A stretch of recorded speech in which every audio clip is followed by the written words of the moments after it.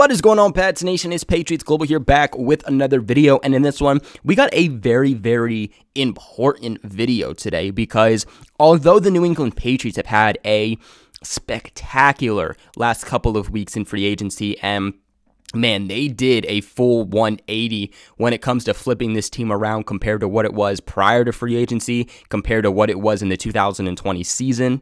And while their amount of needs, while the amount of question marks surrounding the Patriots have dropped drastically, there are still some question marks that I think New England has um, that are definitely important and are, are things for us to watch. And like always, it, it is great to see the improvements that they're making, but it is just as important to keep in mind the question marks and, you know, moves that they still potentially have to make. So that's what we're going to cover in this video. Before we do hop into today's video though, I do want to give you guys a little update that your boy has decided to update his merch. We do still have all of the old stuff along with some really good new ideas that I've been working on for the past couple weeks and more ideas will be continue to be added. Like always, if you do buy merch, send me a picture of you rocking it. I will include you in the next video. Like always, link in the description box below. I think we can all agree the number one most important thing for the Patriots is quarterback. And they do have Cam Newton for sure. But like I said in several other videos and live streams and DMing you guys and talking to you, is that the Patriots do need to have a quarterback competition. I don't think it's a smart idea for them to roll into the offseason and training camp and potentially the um the preseason if we're lucky enough to have one just having Cam Newton as your starting quarterback and then having Jarrett Stidham backing him up. I think it will be very beneficial for the Patriots. I think it'd be very beneficial for Cam Newton if you have some type of quarterback competition for that starting job. The Patriots continue to be linked back to Jimmy Garoppolo, which I did just cover in a video you guys can check out. They have been continued to be linked back to several, several of these top five quarterbacks in the 2021 draft, which will occur in just a couple of weeks also. But the big thing to remember here is that Cam Newton signed with the Patriots not even a year ago. He signed very late into the process. He was their starting quarterback in 2020, and then they decided to bring him back this year also, but only signed him on a one year deal, which just goes to show that they don't think he's the future. They think that they can, or they think that he could possibly help out, you know, maybe right now and, and be that option until they get the new guy who's going to be under center for them in the future in the building. But he's not the long term answer. And I think that's something we can all agree on. The last thing the Patriots want to do is be one of those teams where every single year we're asking ourselves the same question, and that's who is going to start for the New England Patriots at quarterback, the most important position in sports? At some point, us Patriots fans, you know, the, the guys that are playing on offense and just other players that are playing under Bill Belichick and for the New England Patriots, I'm sure they are going to want some answers on a long term solution at quarterback and not having to figure it out kind of at the last minute every single year.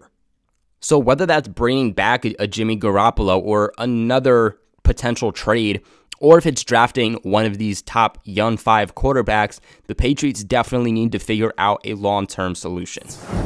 Now, next up here, I think that the Patriots should still add another wide receiver. This is something that I've also been saying for a while. When you guys have said, I mean, what else is there for the Patriots to add in free agency? And I said, there's not too much, but I think adding one more wide receiver would be good for this team. Now, they do not have an official number one wide receiver. Um, I think that addition of Nelson Agholor was a better addition than some people realize. What is it? Was it as good as they could get? No, but he's the type of guy who is a number two receiver for sure, but has the ability to be your number one guy. I look at all these other receivers that the Patriots currently have, and I go, I don't really think you guys can be a number one wide receiver. And I think Nelson Agholor is the guy who has that most potential to be their number one guy. But you look at it and you also have to account for potential injuries. Julian Edelman is a huge question mark for the Patriots. We have no clue what is going to happen with him. You have Jakobi Meyers, who I think is is a pretty good player, who I think we can all agree uh, we can rely on going forward. Uh, you have Nelson Agholor. N'Keal Harry is a very big question mark for them. Are they going to trade him or not? If they do, that is probably your probably number four receiver at this point who is out the door, at least just a depth piece. And then you have Kristian Wilkerson, Isaiah Zuber, Gunnar Olszewski, those three guys who, for the most part, aren't really a factor on offense. Isaiah Zuber and Kristian Wilkerson probably won't even make the roster. And then you have Kendrick Bourne, who is probably about your third receiver on this list.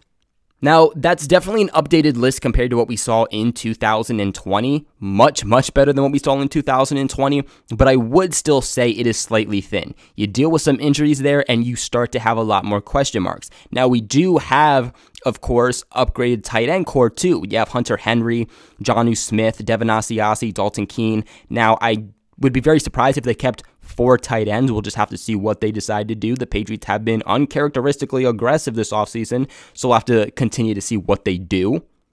And I think the the revamped tight end corps is going to help give depth to that wide receiver group also, but we have to understand is Hunter Henry is a guy who usually can't really stay healthy either, so he's not a reliable factor all that much. We'll just have to see how that decides to go. Maybe he stays healthy with the Patriots, maybe he doesn't. But if we're going to look at history, I would say that that's probably not in the Patriots factor. And that would mean you kind of have Jonnu Smith and then Devin Asiasi and Dalton Keene if both of those guys stay on the roster, and we can't rely on them compared to what we saw in their rookie season. So I definitely think that if the Patriots want to staple this offense, that they should definitely add one more wide receiver, whether that's trade, free agency, or the draft. I think that it would be a really good move by them. Now, next up is one that some people probably won't agree with me on, but that's actually the secondary. Now, a lot of people feel that the secondary is the strongest group for the Patriots, and it's definitely one of the strongest, but it brings a lot of question marks. Right now, your two top cornerbacks in Stephon Gilmore and JC Jackson are two very big question marks. Obviously, for about a year now, we've heard Stephon Gilmore in trade talks with the New England Patriots. We don't know if he'll be with the Patriots for next season, if he won't be the Patriots for next season, but I can guarantee you that he's not going to be playing under that current contract, and I definitely could see him being somebody who uh, waits out until he gets that extension that he wants, or at least a pay raise. JC Jackson is the guy that the Patriots just recently placed a second round tender on. He's someone who I've been hearing floating around in, you know, maybe a potential trade candidate, or maybe he's someone that a team signs, um, you know, tries to to sign from that tender and the Patriots don't pick it up. So they end up getting a second round pick and then JC Jackson is gone. He also has not signed that tender yet. But let's keep in mind that because he is signed on the tender, not a long term deal, if he does sign that tender, he is only with the Patriots for one season, which means that if Stephon Gilmore and JC Jackson both do return without extensions, they are both going to be um, unrestricted free agents at the end of the season. That doesn't make me feel too good because honestly, who's behind them? You have Jonathan Jones, who's a really great player. He is definitely getting older, um, but he's more a number three cornerback. He's a guy that plays in the st- slot. He's not going to be your number one or number two cornerback. You have Joejuan Williams, who they picked up a couple of years ago in the draft. I still think that he could be a really nice piece for them, more so at the safety position. Uh, but we haven't seen enough from him to be able to say what exactly we'd be getting or where the Patriots could really use him. He's someone who has performed much better, kind of playing in the box and going up against tight ends, which is why I said probably better in the safety role. And you had Jason McCourty, who hit free agency. He's not re signed with the Patriots right now. Right now, I would definitely say that the Patriots um, safety group has more depth currently than the cornerback group. You know, you have um, Adrian Phillips, you have Kyle Dugger, you have Devin McCourty, they have Jalen Mills, who I'll be really interested to see what they do with him because he is a cornerback, but he also played safety this past year, and I've heard a lot more people saying he plays better at safety. So maybe he's someone that New England decides to play there rather than at corner. And then Myles Bryant is the guy that this past year in limited snap time did look promising, but again, he's someone who played at safety also. So New England does have some pretty good pieces, but there's a lot of question marks surrounding this secondary. And either way, you do want to get the new wave of players in the secondary within the system. And my last one here is going to be adding another body along the defensive line. And I'm not just talking about a guy that comes in and is fighting to make a final roster spot like Montravius Adams, who the Patriots just recently signed. I'm talking about someone who, if Lawrence Guy goes down, if Davon Godchaux goes down, that you can rely on coming in. My preferred body would be a Danny Shelton. The pages have been linked back to him, but of course, as of now, nothing has happened. The team struggled along the defensive line this past year, but of course, they did tremendously upgrade. It's not for me the defensive end position that worries me. With Dont'a Hightower, Kyle Van Noy, Matthew Judon, so many bodies there.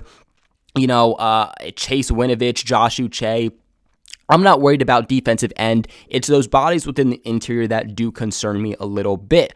Yes, your two bodies in Davon Godchaux and Lawrence Guy are there, and they're going to be two really good starting pieces. But again, one of those guys go down, and now you have question marks. You have Deatrich Wise, who I think is a really good piece. He's definitely started to pan out a lot better, very versatile, can play in the defensive line, uh, both interior and exterior on the edge but he's not someone that I would want to have playing the entire season as a three down defensive tackle. That kind of brings you to someone like a Byron Cowart who has flashed at some points, but let's be honest with ourselves. At least as of right now, he lacks consistency, and he's another player who I don't think any of us can confidently say could come in and step in for one of those guys if somebody did go down. I think overall, if the Patriots add one more true good body there, a depth piece, someone they can rely on, and if they kind of want to switch it up, if they want to end up having, you know, maybe three big defensive linemen uh, on the, the front seven, that's something they could do also in certain packages defensively. But most importantly, someone they can rely on again if one of those guys is to go down, which, let's be honest with ourselves, is most likely going to happen at some point. So these are a few questions I have for the New England Patriots that I still think that they need to look into. What are your guys' thoughts? Are there any other question marks that the Patriots still have that I haven't listed? Let me know in the comment section below. Before we end this video off, though, I do want to talk about the sponsors of this video, BetOnline.ag. Now, BetOnline has the fastest and easiest ways to bet on all of your sports action. Football might be over, but NBA, college basketball, and the NHL are still a full swing. BetOnline even covers awards, TV shows, and reality TV, along with real-time updated odds and props on almost anything you can imagine. BetOnline also has you covered for all of the news, scores, and odds, and it is the best way to place your bets, and it's 100% free to sign up.